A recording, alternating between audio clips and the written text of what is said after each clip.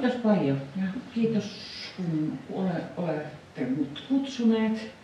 Tähän liittyy Pohjanmaahan kovastikin tämä jälkimmäinen kansalaissotaa käsittelevä kirjani. Et mä oon tosiaan kaksi kirjaa kirjoittanut. Meriruusut ilmestyi 2008 ja tämän aiheena oli punaisten puolella taistelleet aseelliset naiskaartit.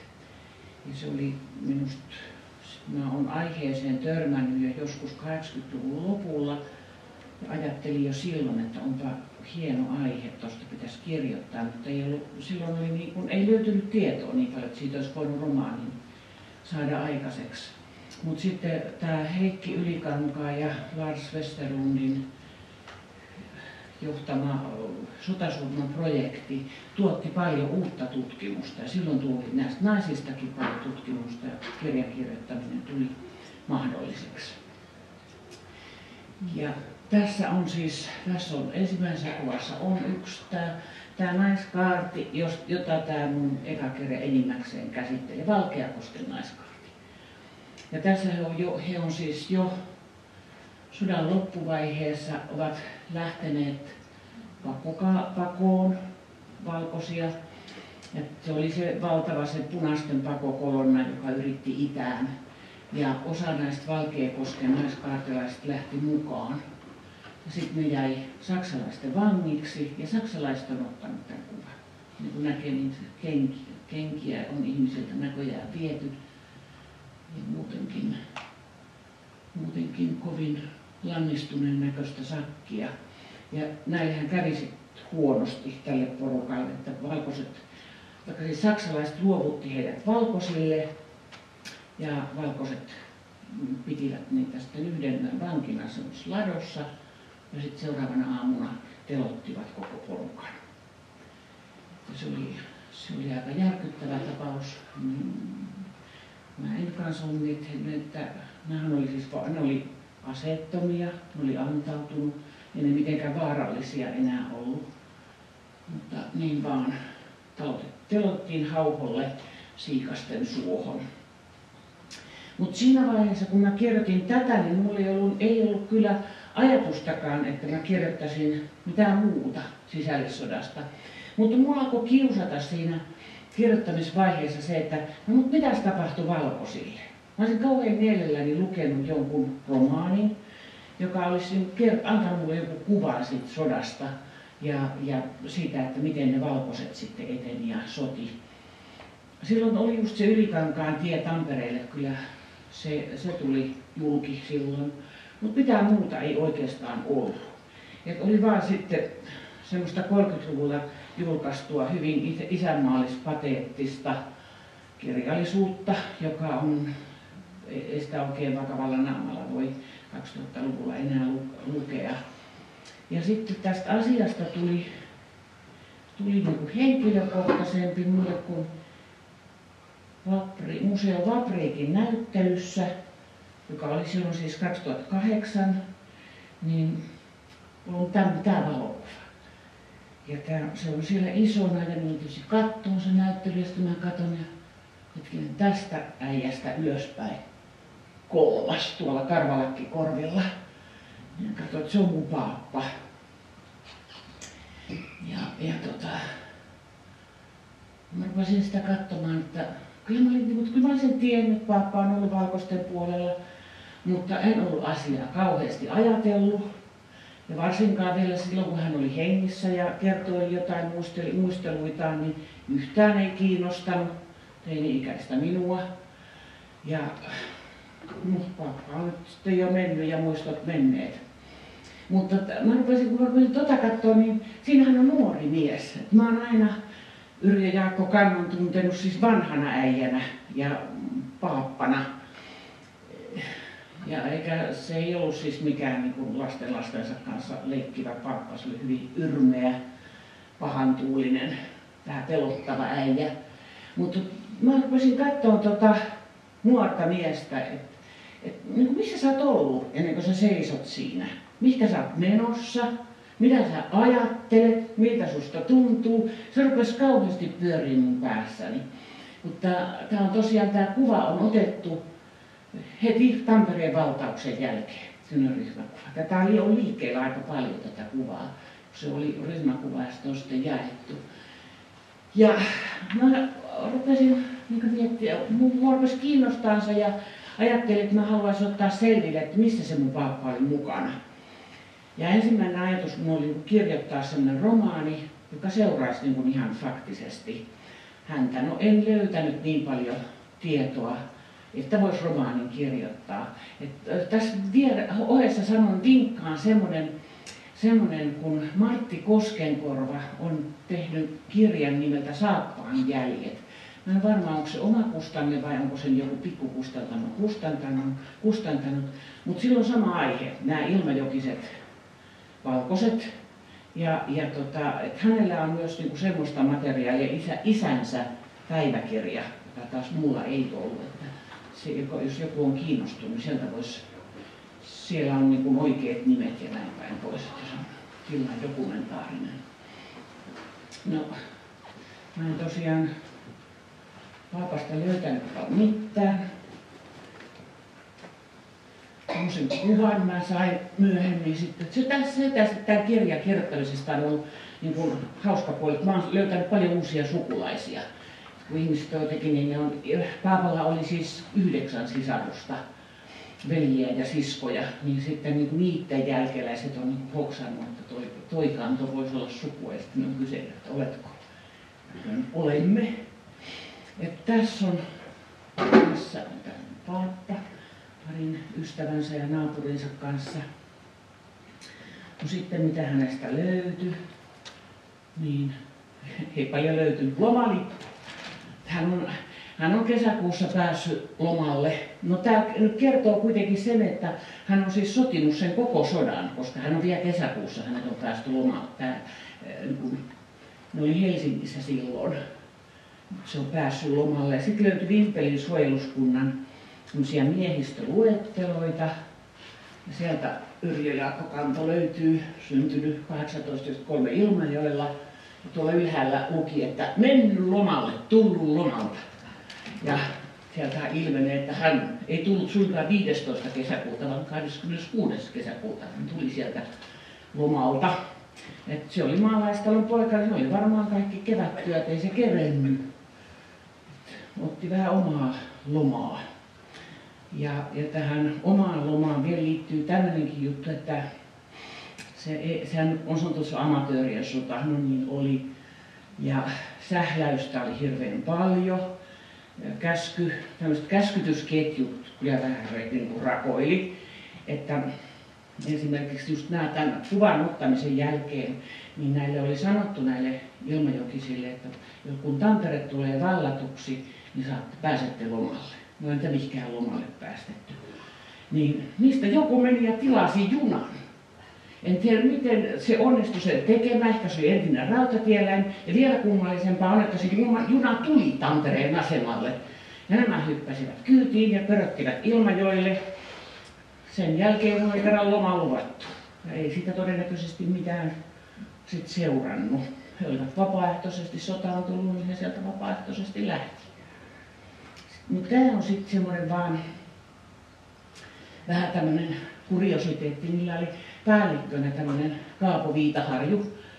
Se on aika, aika legendaarinen tyyppi, semmoinen rämäpää. Että se, ne mie, miehet kyllä tykkäs sitä jollakin lailla. Se oli tämmöinen, että se meni rivolli pystyssä joukkojen edellä ja sanoi, että muuhun ei kuulla satu. Eikä sattunut. Että se vielä soti jatkosodan, talvisodan ja jatkosodan kyllä kuulla sattunut. Ja, mutta silti sitä löytyy aika kivoja, kun se taistelee intendenttiosaston kanssa, että hän, sen miehet tarvitsee kenkiä. Että hänellä on 50 miestä, joilla on vain, vain rauskat huopatossut ja ne tarvitsee kengät. Tai sitten kun oli Viipurissa, mikä siis se kertoo myös sen, että mun pappa on ollut Viipuriakin valtaamassa, niin ne mietti, että mihinkä Viitaharju on kadonnut. Niin sitten se tuli ja sillä oli kopallinen kananmunia ja leipiä. Ja sitten se jakoi ne niille miehille ja sanoi, että näillä on pojat Viipurin tultava vallatuksi. Että se jotenkin niin kuin huolehti niitä, niistä miehistään kuitenkin. Mutta tämä remmiapeli. Mä luulin pitkään, että remmiapeli tarkoittaa sitä, että tarkistetaan niin remmit ja napit, että onko asiallisesti. kunnes mua joku valisti, että ei, tämä on semmoinen. Maremmiapeli tarkoittaa, että se on vähän modernimpi muoto, tota, malli kujatjuoksusta. Kun joku on törttöillyt ja, ja aiheuttanut komppanialle vahinkoa tai vaaraa, niin joka äijä otti siis vyö, vyöremminsä. Näin molemmin puolin. Ja syyllinen juoksee niiden välistä ja jokainen kuitas sen verran, kun sielu sieni. Tämä on ollut semmoinen. No, muistatte sen eka kuvan, niin mie, no tässä on sitten punakaartilaisia. Että kummallakin puolella huonosti varustautuneita, täysin sotimista osaamattomia amatöörejä. Tämä on punaisella puolella, mutta ei nyt kauhean, ei nyt valkoiset paljon sen rikkaamman näköisiltä näyttänyt. Että tämä sotahan nyt oli sillä lailla monessa suhteessa sattumanvarainen, missä satuit asumaan ja syntymään. Jos olit syntynyt Pohjanmaalla, niin aika todennäköistä, että olit valkoinen. Jos synnyt Tampereella, niin aika todennäköistä, että olit punainen. Siinä, siinä on punakaartia.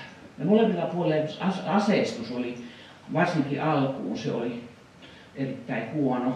Aseita yritettiin hankkia näitä venäläisiltä varuskunnilta, ja niitä tuli Saksasta, mutta, mutta nämä suojeluskunnat, niin ensin ne harjoitteli hein, heinäseipähillä tuvassa, että kun tätä aseen käyttöä. Ja sitten kun ne rupes riisumaan, sehän oli se ensimmäinen vaihe, että riisuttiin nämä venäläiset eh, varuskunnat aseista, niin niistä on näissä monessakin muistelmateoksissa, on kirjoitettu hyvin paljon, melkein kaikesta näistä on Ilmajoki, Lapua, Ylistaro, Vaihia, siitä vapaussodan ajasta, niin niissä sitä kerrotaan, kun kauhealla innolla mennään. Ja niillä on tosiaan seipäitä, hirvikivääri, haulikko, viikate, lehmän sorkkasakset, dynamiittia kassissa. Et tämmöisillä aseilla sitten mennään näitä varuskuntia vastaan ja aina niitä niin varmoitetaan, että kukaan ei sitten ammu. Et neuvottelemalla niin kun neuvotellaan se, että ne luovuttaa aseensa niin kuin sovittu on ylemmällä tasolla. Aina siellä on joku kuuma kalle, joka sitten ampuu sen ensimmäisen. Ja sitten kun toisella puolella on siis aseistetut sotilaat, venäläiset, mutta kai ne ampuu takaisin. Ja sitten syntyy, niin kuin, sitten syntyy taistelua ja tulee ruumiita. Ja ruumiita tulee sitten vielä sen jälkeenkin, kun siellä venäläisiltä on saatu ne aseet, koska sitten sählätään niiden aseiden kanssa niin, että joku saa vahingonlaukauksen ja henki menee sitten siinä. Että oikein mitä surkuhupasuuden parhaimmasta päästä on tämä Laihian Hulmin kasarmien taistelu, että siellä kanssa niin mentiin ja joku ampui ensimmäiseksi ja venäläiset ampuu takaisin. Ja sitten siinä oli tämmöinen, että heillähän oli kuitenkin siis suomea taitavia karjalaisia ja virolaisia, mutta ei ollut tulkkia, koska siis nämä oli tansseissa, kun sattui olemaan sunnuntai. Se, silloin se tammikuun 27. Silloin syntyi siis verinen taistelu, jossa paljon näitä laihialaisia sitten kuoli. No tuossa venäläisistä jo puhuttiinkin. Siis tähän sotaanhan siis otti osaa paitsi suomalaiset, niin aika monta muutakin kansallisuutta. Tässä on näitä anarkistimatruuseja, Mustanmeren matruuseja, mutta niitähän oli siis tosiaan, että venäläisiä varuskuntia oli pitkin, pitkin tätä länsirannikkoa. Sitten kun alkoi, koska kun maailmansota alkoi, niin saari Venäjä alkoi tietysti miehittää niin kuin se, niitä mahdollisia paikkoja, jonne Saksa voisi lähettää joukkojansa, eli rannikkoa etelässä ja tässä lännessä. Ja täällä Pohjanmaallahan oli hyvin paljon näitä venäläisiä varusmiehiä. Mutta nämä on tosiaan nämä helsinkiläisiä matruuseja, anarkisteja, nyt näkyy hurja lippu, ja lipussa lukee, että kuolema porvareille, smert bourgeoisie. Ja näistä, näitä tuli sitten niin tuli auttaan tamperelaisia ja tuli 300 matruusia Tampereelle niin tovereita auttamaan vallankumoustaistelussa. No, niillä oli kovasti henki korkealla, ne oli jo upseerinsa tappanut, heittänyt mereen. Ja, mutta huonostihan niille sitten Ruoveden metsissä kävi. Että niistä suuri osa siitä tästä porukasta sitten kuoli tai haavoittui. Tästä, tästä Motruusasta on pätkä tuossa verenruusuissa. Se on sinänsä aika jännä juttu, että mä rupesin miettimään, että mitä Tampereella tapahtuu, jos sinne tulee 300 mustasilmästä matruusia. Ja mietin, että no varmaan siellä ensin pistetään tanssit pystyyn, sitten syntyy sukupuolisiveellisyyttä uhkaavaa toimintaa, jonka jälkeen toverillinen yhteisymmärrys tamperelaisten ja matruusien välillä alkaa vasti rakoilla. Ja sitten matruusit jo lähetetään kiireen kierrolla sinne taisteluihin. Ja vasta sitten jälkikäteen sain Seppo Myllymäen tutkimuksen, se on tutkinut näitä.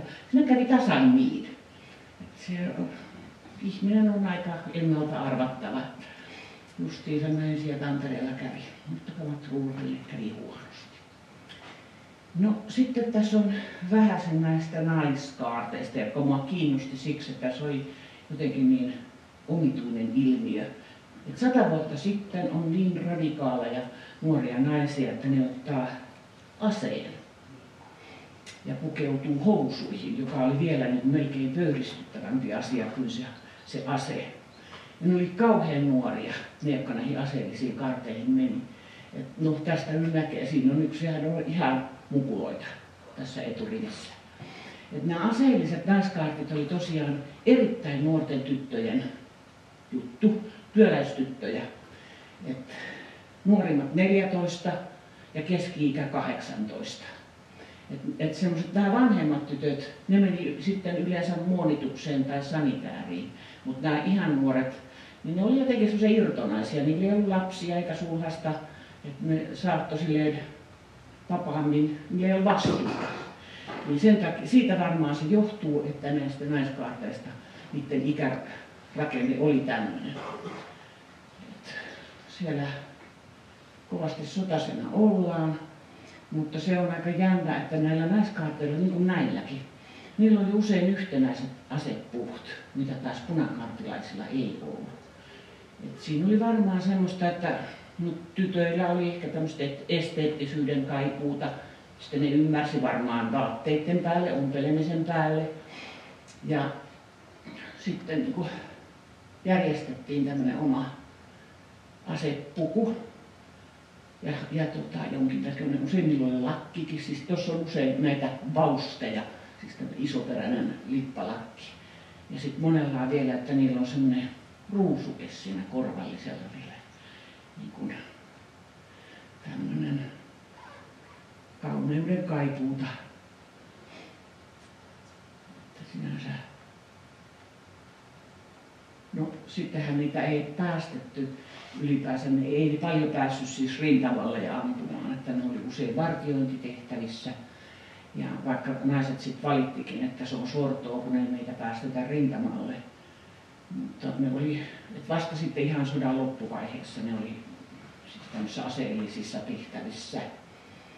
Usein niillä oli muuten myös patruunavyöt, sillä komeet valkoiset patruunavyöt, vaikka se nyt ei tosiaan ne niitä patruunoita tuskin paljon käyttivät, mutta semmoiset ne oli kuitenkin.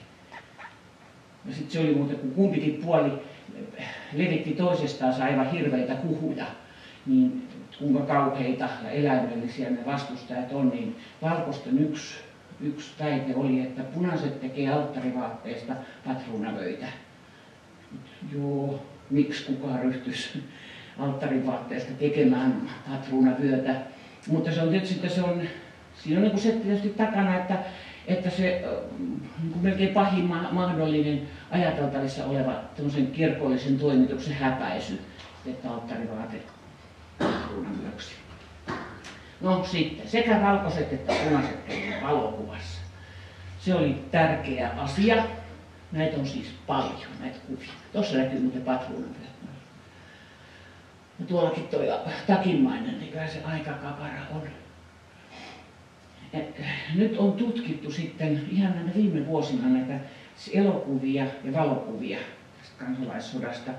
Ja valokuvastudioiden, kuten Varsokevits Kuopiossa tai Nyblin Helsingissä, niin niiden liikevaihto moninkertaistui kapinan aikana. Kolmin nelinkertaistui tilaukset.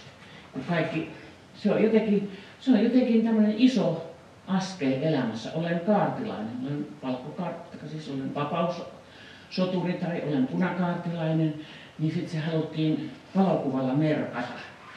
Samalla lailla kuin joku hää tai ripille pääsy. No sitten myöhemmin nämä valokuvat oli raskauttava todiste, että ihminen on ollut kaartissa. Sitten siinä on punakaartilainen mieshenkilö valokuvassa. No siitäkin näkee siis näette tämän varustuksen, että kyllä se, eihän niillä ollut muuta kuin se nauha hihassa. Ja tuollakin on sitten joku villapaita, ravatti ja, ja, ja venäläinen sotilasvyö, Tampere lukee myssyssä. Pyssyt oli sitten, ne oli joko semmoisia venäläisiä viiden, kuuden linjan kivääreitä tai sitten japanilaisia arisakoja, joita oli noilla naisilla ne oli pieni pieni arisakat. Tämmöistä väkeä. No sitten sota käytiin hevosilla, autojahan oli jo silloin, mutta, mutta tota, harvinaisia ja tiet, tiet talvisaikaan ei ollut semmoisia, että se olisi voinut autolla ajaa. Että so, hevoset raukat joutuivat sotaan. Tämä on punaisten semmoinen oikein hyvin tunnettu joukko-osa. Puhuttiin Turun ratsuista, missä punakaartilaisia oli. On punapäällikkö Werner Lehtimäki, joka on varsin tunnettu. Ja tästähän tuli kovasti katkeruutta, kun punaiset vei hevosia taloista omiin tarpeisiinsa. Ja sitten kun Tampere oli vallattu, niin Tampereen kaduilla oli satoja kuolleita hevosia. Ei kymmeniä, vaan satoja. Se on kauhea ajatus. Siellä huhtikuun lämmössä siellä. Että, ja sen aikaiset, niin hevosellahan niitä hevosen piti kuljettaa pois, niin se ei varmaan kovin nopeasti onnistu. No, valkoiset kävi samalla lailla valokuvassa. Siinä ollaan en tiedä kuka porukka se on, mutta tämä kuului asiaa tämä valokuva. No sitten äh, myös valkoisella puolella naisilla oli halua päästä, ottaa ase ja päästä rintamalle. Mutta Lapuan naisyhdistys, tämän kuuluisan puheenjohtajansa Hilja Riipisen johdolla niin esti sen. Että he lähetti Mannerheimille kirjeen, jossa ne totesi, että naisyhdistyksen mielestä tämä on täysin sopimatonta ja onko, onko ylipäällikkö samaa mieltä. Ja ylipäällikkö oli samaa mieltä. Hän, hän niin antoi sitten tämmöisen kirjeen määräyksen, että, että naist, aseellinen taistelu on, on miesten yksinomainen oikeus ja velvollisuus. Ja naisten tehtäväksi jää siis huolto, haavoittuneiden hoito ja niiden lohduttaminen, jotka ovat oma menettäneet. Että, että ei, ei, vaikka esimerkiksi Ylistarossa on siis naiset harjoitellut oikein pyssyjen kanssa ja kovasti halua liittyä. Muutama yksityisyrittäjä onnistui silti pääsemään valkoisiin joukkoihin. Ja tässä on niistä yksi. Ja hänestä tiedetään nimikin, tämmöinen Anna Myllymäki, tämmöinen satakuntalaistyttö. Että hän on itse sitten myöhemmin, tästä, on, tästä kuvasta sukulaista vähän närkästyneitä, koska Anna on itse sanonut, että tämä on lavastettu kuva. Että hän on ollut vain sanitäärinä, mutta lykkäsivät pyssyn selkeä siinä. No, hänellähän on, kun katsotte, niin siellä on helapääpuukko myös rinnalla. Pistivätkö senkin? Ja tietysti voi ajatella, että kun nuori liikka tulee sodasta, niin että mitä nyt kannattaa sanoa. Että kannattaako sanoa, että kyllä olin siellä ja vähän otin kuppia poikien kanssa. Tai kannattaako sanoa, että olin vain sanitääriä haavoittuneita poikia.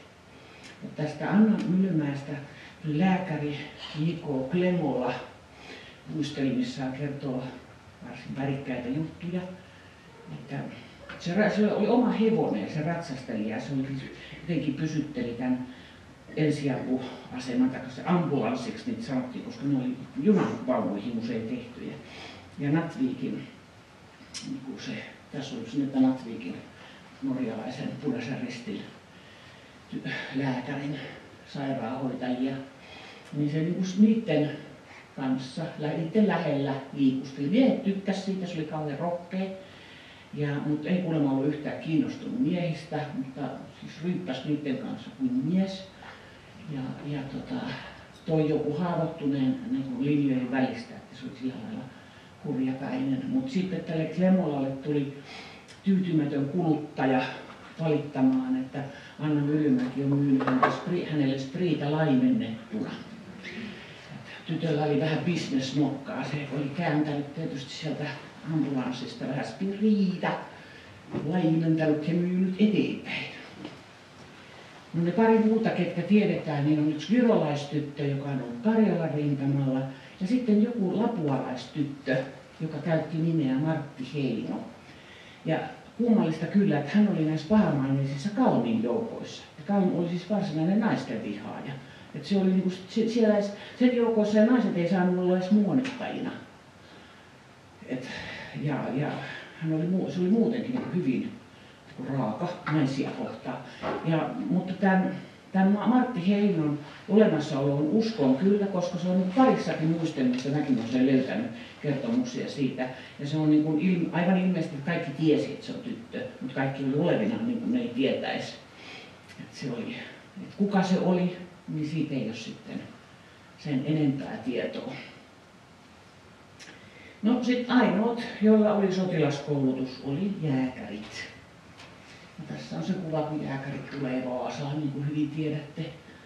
Että he tuli, siinäkin on tietysti tämä on niin juhlallista, mutta asia liittyy, kaikkiin asioihin liittyy vähän vähemmän juhlallista, jotenkin koomistakin, että joku muistelee sitä, joku jääkärnäävä, ei se ole jääkäri, se on joku siviili kumminkin, se oli katsomassa tätä ja sitä oli huvittanut, että kun Mannerheim sanoi, että jääkärit, me tarvitsemme täitä. Ja tota, ja sitten semmoinen yksityiskohta kanssa löytyi, mikä minusta oli tavallaan hyvin herkkäinen, että nämä naiset keitti riisipuuroa näille jääkäreille, kun ne tuli. Ilmeisesti se oli näin, että sen sai äkkiä, että kun tuli tieto, että nyt ne on tulossa, niin mitä nyt nopeasti saa, niin puuroa. Ja miesparat, nuoret miehet, nehän oli ollut varsinaisessa koirakoulussa Saksassa pahimmat neljä vuotta ja oikeasti nälkäisiä. Et Saksassa oli huono elintarviketilanne, niin ne oli, ne oli nälissään muutenkin niin kuin hyvin, se oli hirveän kovaa, kuinka niitä koulutettiin. Ja sitten vielä lähetettiin Itä-rintamalle Venäjää vastaan, vaikka luvattiin, että ei lähetetä. Ja, ja, ja että nämä jääkäreissä, tässä muistelin, jokin, joku muistelee sitä, että niin, niin huono oli ruokatilanne, että ei paskallakaan tarvinnut käydä kuin kerran viikossa. Että Tämä varmaan jotain perääkin on, mutta, mutta sitten nämä, just nämä, täällä on nämä puuronkeittäjät, niin ne muistelee sitä, että kuinka hirveästi ne söi sitä puuroa.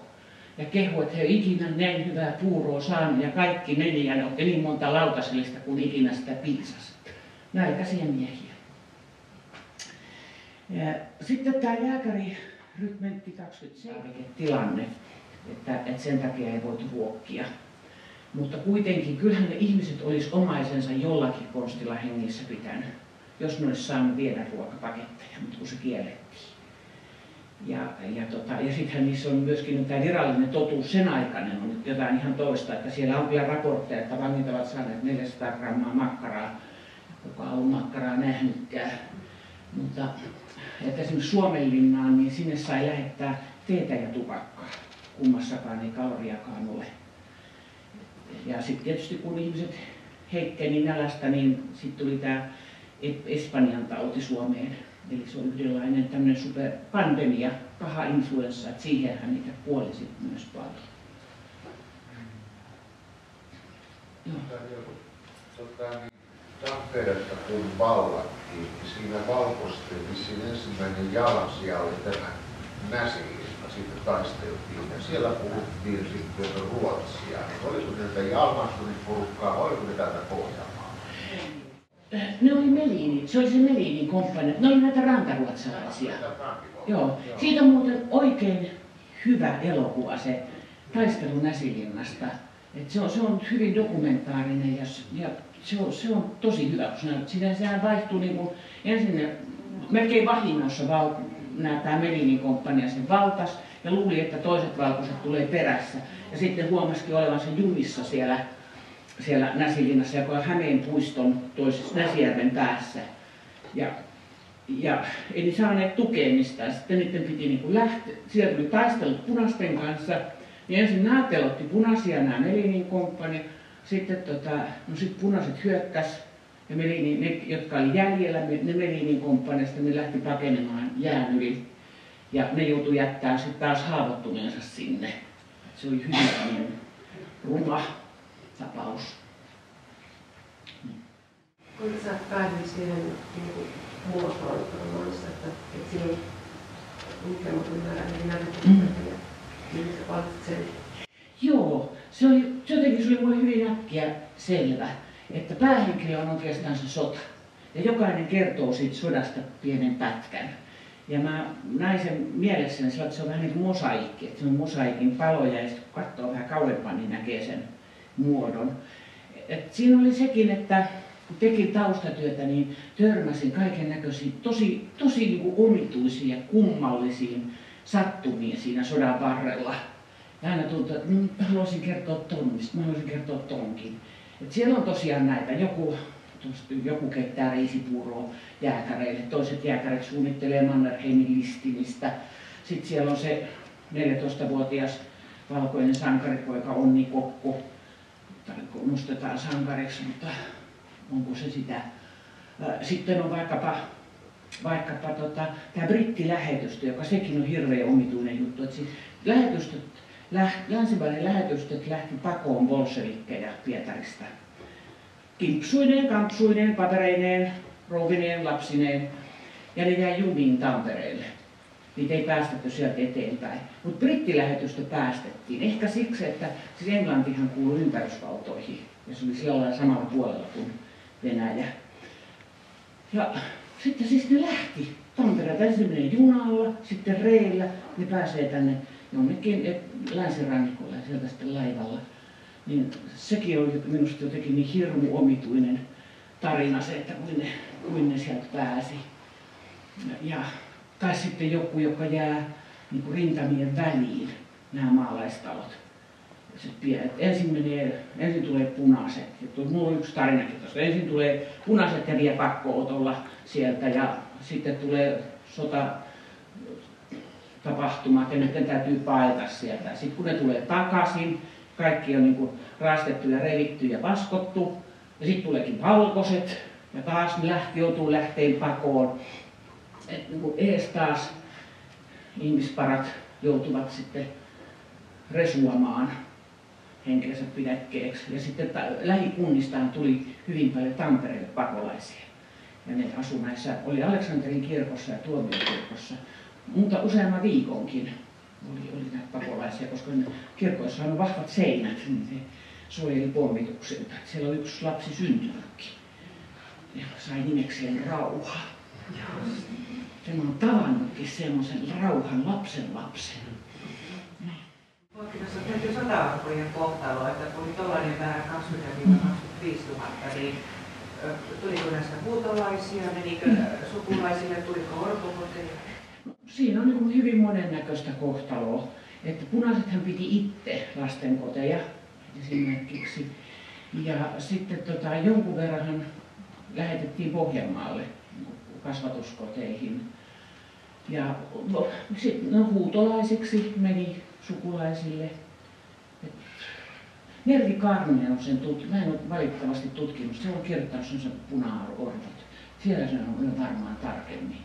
Et tässä on mun koko tietämyksessäni aukko. Siinä oli sellainenkin tapaus, että muistaakseni Kurikasille kirkkoherrana sitten aina 60-luvulla ah, Alanko, joka tuota kertoi sen. Joo.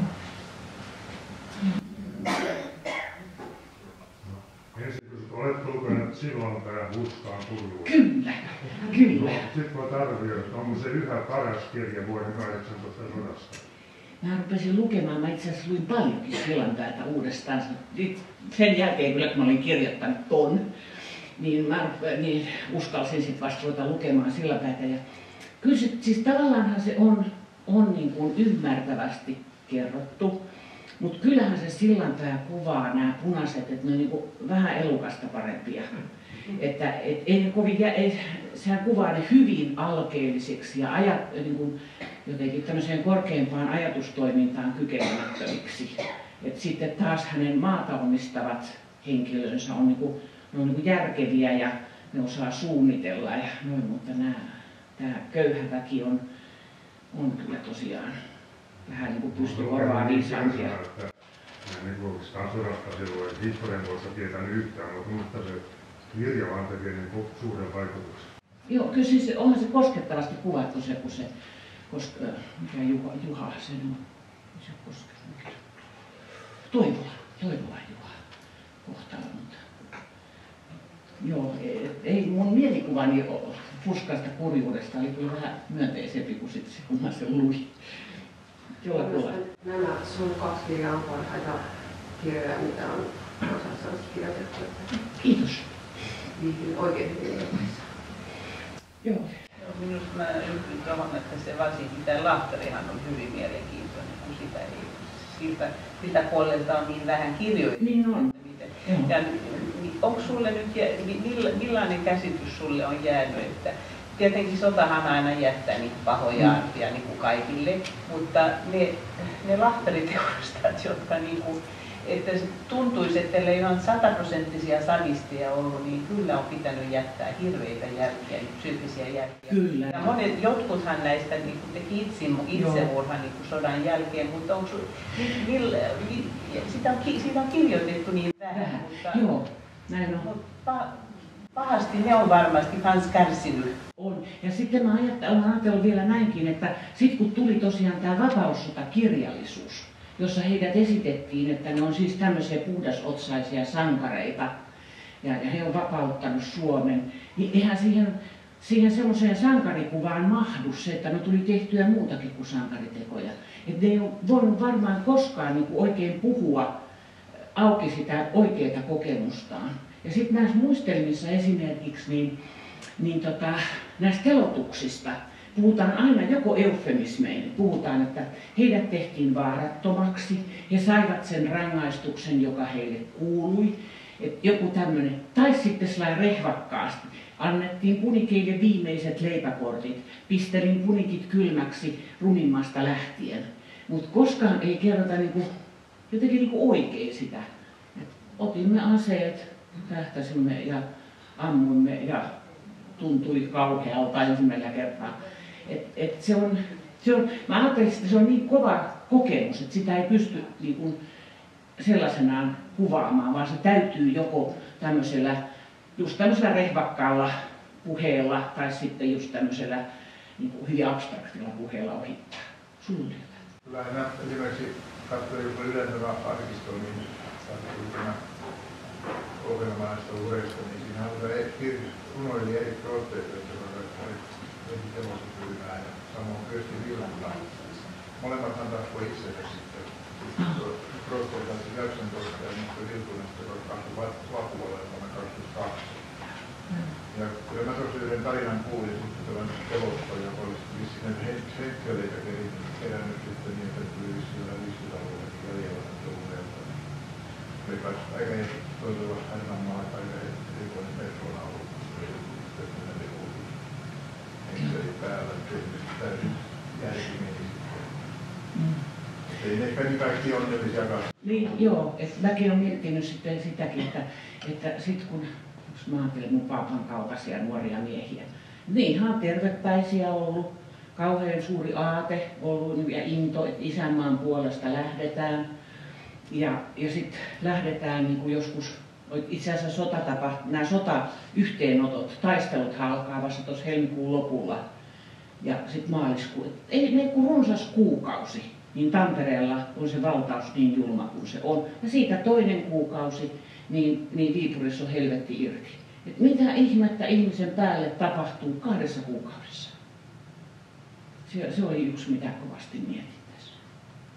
Ja kyllä munkin paappa oli siis semmoinen, että se vähän muisteli, se muisteli tota Messukylän taisteluja, se muisteli. Ja, ja, tota, ja jostain telotuksesta se kertoi. En tiedä, oliko se nähnyt se, oliko se ollut mukana vai oliko se kuulopuhetta. Ja sitten se muisteli sitä kauheita nälkää, mikä heillä oli. Mutta jännä on, että se ei koskaan sitten ottanut pyssyä käteensä. Nämä mun isä ja sen veli metsästeli ja näin, ja sehän kuuluu Pohjanmaalla miesten harrastuksiin. Pappa ei koskaan, se muuten siis oli, ei ollut mikään sopuisa, häissä tappeli ja näin päin pois, mutta pyssyä ei ottanut. Niin, tuota, niin, että joku syy, että noista asioista on niin paljon vaiettu. Niin, sanoppa se. Kun mäkin mietin, että niin mun isoisä on Valkeakoskelta ja niin tota, ää, mun isältä kysyin joskus, missä on sanonut, että se on ollut pasifisti, että se ei ole ottanut osaa. Mutta nyt viime kesänä mä kuulin, kun mä luin tuon kirjan, niin mä että, että jotenkin sun on oltava, niin kuin, että jollakin lailla on pitää olla mukana siinä. Niin sitten perheestä oli tämä sisko ja tämä mun isoisä, ne oli punaisten puolella. Ja 12 veljestä oli sitten niin tuota valkoisten puolella. Eli kun mä kysyin viime kesänä mun pikkuselkolta, ne, että, että onko ne ollut, kun, kun isä ei niin kuin tiedä mitään tästä asiasta, niin se sanoi, että joo, että tämä, tämä lempi oli vienyt tälle mun isoisälle vankileirille ruokaa. Mm, niin.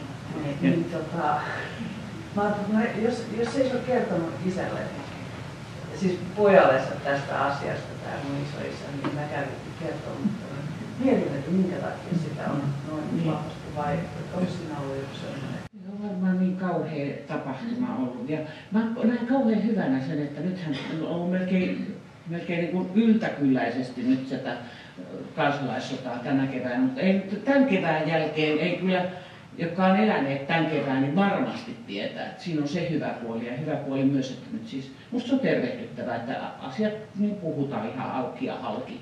Koska ei meillä ole enää mitään tekemistä sen sodan kanssa. Ne on meidän iso isoisiä tai isoisiä. Ei me olla millään lailla syyllisiä heidän tekoihinsa. Sulla otetaan viimeinen kysymys sieltä mun täytyy... Onneksi Suomi ilmeisesti säästyi sodalta tai taisteluilta, mutta ilmeisesti miehiä oli varmaan kummallakin rintamalla sitten eli suojeluskuntien jäseniä ja niin edelleen niin täällä taistelemassa. Mutta sotiaan ei, tai taistelua ei varmaan käy. Ei, ei. Kyllä kai siinä oli niitä. Joo, joo. Ja sitten Kemi, Kemin tienovilla on ollut kyllä kans, mutta siis, aika, siis monessa paikassa tuota Itä- ja Pohjois-Suomessa on, on säästytty. Oli ihan nyt on hänen isänsä tai isoisänsä ollut siellä. Se oli kaikki tietoisa, kun se lakimies ja ammatti. Joo, niin oli. Joo, tämä oli tämä, joka on vähän takana tässä Suomen hauskin mies elokuvassa. Se on se Jalmari Parikka, tämä esikuva. Nyt, nyt lopettaa. Jos joku haluaa ottaa vielä kirjan, niin ehtii saamaan. Mutta sitten,